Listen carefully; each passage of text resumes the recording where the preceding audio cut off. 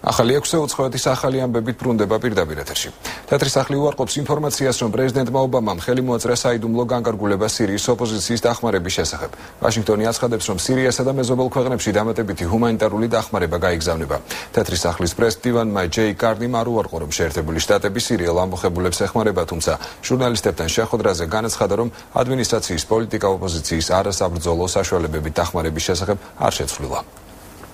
პრეზიდენტმა ობამამ სირიისა და მეზობელი ქვეყნებისთვის დამატებით 12 მილიონი დოლარის ღირებულების ჰუმანიტარული დახმარების გამოყოფას მოაწერა ხელი. ამ ეტაპზე ვაშინგტონის დახმარებამ სურსათითა და სხვა პროდუქციით 76 მილიონ დოლარს გადააჭარბა. არც ის რომ სირიაში იარაღის მოცულობის გაზდა ხელს შეუწყობს სამშვიდობო პოლიტიკურ გარდაქმნებს. მანამდე ამერიკის სახელმწიფო დეპარტამენტმა გაავრცელა ცნობა, რომლის მიხედვითაც სირიის ოპოზიციამ 25 მილიონი ამერიკული დოლარის ღირებულების არასაბრძოლო დახმარება მიიღო. გაეროს შეფასებით წელს ჰუმანიტარული დახმარება 3 მილიონზე მეტ სირიელს დასჭირდება. თეთრი სახლის განცხადება იმ დღეს დაემთხვა, როდესაც კოფი ანანმა გადადგომის შესახებ ამცნო გაეროს უშიშროების საბჭოს. ანანმა თქვა, რომ უშიშროების საბჭოში ერთიანი ნების არარსებობა კიდევ უფრო ართულებს მისი მისიის შესრულებას სირიაში. მე შემდეგ დღეებშიც გავაგრძელებ ჩემს საქმიანობას ვიდრე მანდატი არ ამომეწურება. მექნება შეხვედრები შტაბ-ბინაშიც და სხვადასხვა ქვეყნების საგარეო საქმეთა მინისტრებთანაც. ჯერი კარნის განცხადებით ანანის წასვლამ დაადასტურა რომ რუსეთი და ჩინეთი არასწორი გადაწყვეტილების მიმღებ ქვეყნებად შევლენ ისტორიაში და ადესრა ვეტო გაეროს უშიშროების საბჭოს რეზოლუციას რომელიც ასადის მთავრობას ძალადობისთვის აკრიტიკებდა ფუსრიაიოტის ადვოკატები ვლადიმერ პუტინის განცხადებას ეხმაურებიან ლონდონში ვიზიტისას რუსეთის პრეზიდენტმა განაცხადა რომ გოგონების ქმედებას არ ამართლებს თუმცა მათი მკაცრად გასამართლების წინააღმდეგია. დაცვის მხარე პრეზიდენტის სიტყვებს ერთგვარ ტაქტიკურ მსვლელობად აფასებს რომელიც სასამართლოს განაჩენზე არ აისახება. ფუსრიაიოტის სასამართლო პროცესი მოსკოვში უკვე მეხუთე დღეა მიმდინარეობს. გოგონები თებერვალში საკათედრო ტაძარში ვლადიმერ პუტინის საწინააღმდეგო აქცია კონცერტის ორგანიზებისთვის დააკავეს. ფუსრიაიოტის სამწევს რელიგიური სიზღვის მოტივით ხულიგნობის ბრალდება აქვს. აღენებული რაც წლამდე პატიმრობას ითვალისწინებს.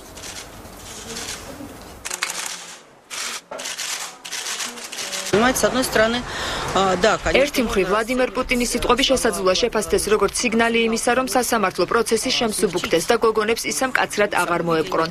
მეორე მხრივ ამას ვაფასებ როგორც შესაძლო ტაქტიკურ სვლას, როდესაც პრეზიდენტი ამბობს, რომ გოგონები მკაცრად არ დასაჯონ.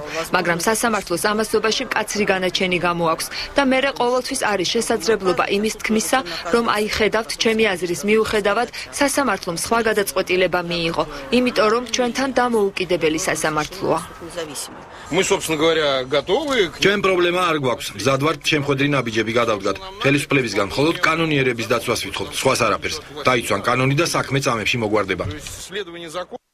ეროსკურსის ვარდნამ ამერიკული ავტოკონცერნის General Motors-ის მოგება თითქმის გაანახევრა კომპანიაში ასხადებენ რომ შემოსავლის კლება დოლარის გაძლიერებამ და ევროპის ბაზარზე გაყიდვების შემცირებამ გამოიწვია. მიუხედავად იმისა, რომ ჩრდილო ამერიკა General Motors-ის უმთავრესი ბაზარია, ევროპაში გაყიდვების კლებით კომპანია მაინც დაზარალდა.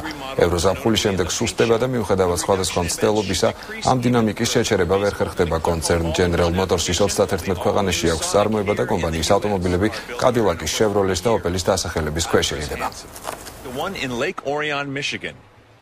Toyota მზარალიანი წლის შემდეგ მიმდინარე კვარტალი 4 მილიარდი დოლარის მოგებით დაასრულა. იაპონურ ბრენდზე მოთხოვნა სტაბილურად იზრდება. იაპონიაში გასული წლის სტიქიურმა უბედურებებმა კომპანიის ფინანსური მდგომარეობა მნიშვნელოვნად დააზარალა. წელს კონცერნი 10 მილიონამდე მანქანის გაყიდვას ვარაუდობს. ეს მაჩვენებელი შარშანდელზე 2%-ით მეტია. Toyota მსოფლიო ბაზარზე ყველაზე გაყიდვადი მანქანის ტიტული დაიბრუნა და ამ მაჩვენებლით უკვე უსწრებს Volkswagen-სა და General Motors-ს.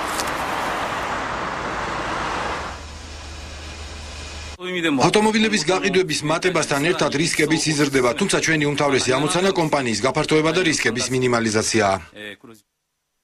გადასახადები მდიდრებისთვის ამ ლოზუნგით გერმანიის კანცელარიის შენობასთან თეატრალიზებული საპროტესტო აქცია გამართა. აქციის მონაწილეები სოციალური უთანასწორობის წინააღმდეგ გამოდიან და მდიდრებისთვის დამატებითი გადასახადების დაწესებას ითხოვენ. მათი თქმით, გაზრდილი ბიუჯეტი განათლების სექტორის საზოგადოებრივი ტრანსპორტისა და სოციალური უზრუნველყოფის დაფინანსებას გაზრდის. აქციის დროს კანცლერი ოფისში არ იმყოფებოდა ანგელა მერკელი შვებულებაშია.